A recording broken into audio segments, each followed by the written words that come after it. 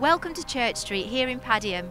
We're here to take a look at this fantastic mural that's being created on the wall behind me. Artist Chris Butcher has been hard at work over the last two weeks bringing this original piece of art to life, inspired by the trams that used to pass through our town.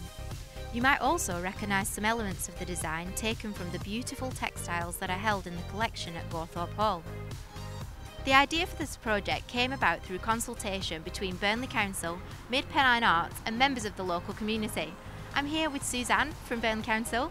Suzanne, so tell me a bit about how this project got off the ground.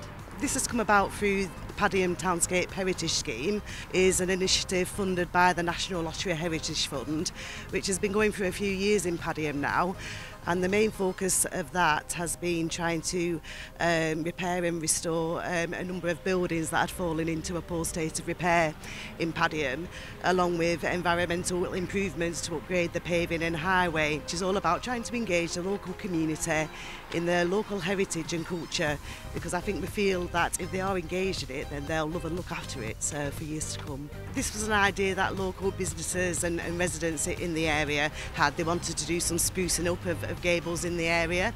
And because we had the opportunity with the funding as well, we formed a steering group to try and take this idea forward. So what's the feedback been like from local people so far? The feedback has been overwhelmingly positive. People just think it's amazing that, that the talent that Chris um, has shown in, in, in producing this. Uh, people are just amazed by it. I've, I've heard one negative comment. This is going to be a community asset for Padiham for years to come and people are really excited about it.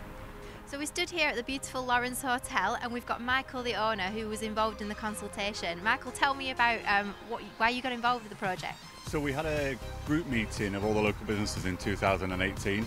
Um, we wanted to get ready for all the work that was being carried out in the town and we were looking at ways of promoting and somebody came up with the idea of why don't we do some murals.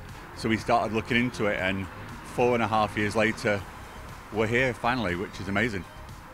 These kind of projects bring a lot of civic pride. Looking on Facebook, I had a little bit of trepidation. I didn't know what people were going to say, and people have just been blown away by it. it, it the feedback and kind of the pride in the town is, is really evident. Art has a way of drawing people to it. We've obviously got this one, one down the bottom of the hill, and then we're going to put in for funding as well to maybe try and create some smaller ones as well. And then we might be able to get a bit of a trial going around uh, so people can come and look at different artwork in the town, which would be an amazing thing for a small little town in East Lancashire. And Padiham already has a bit of an artistic sort of identity, doesn't it, with painting Padiham? What do you think it will add to that? The more that we bring and the more reasons we bring for people to come to us, the better it is. Tourism is uh, a massive business for Lancashire, and I, I hope we're going to get our slice of the pie um, by being innovative and creating reasons for people to visit the town. I should say that there will be another mural as well appearing very soon. Yeah, so we really we really couldn't pick between uh, Chris and uh, the other artist Gavin, uh, but fortunately they were they were willing to share the commission. Um, so um, Chris is, is nearly finished with this gable, and Gavin is coming to Padiham on Monday to start on the other one. Over the last few years, Padiham has become quite a cultural hub for artists, so it's perhaps no surprise that this wonderful work of art has got its home here now. Suzanne, tell me about what makes Padiham a special place for art.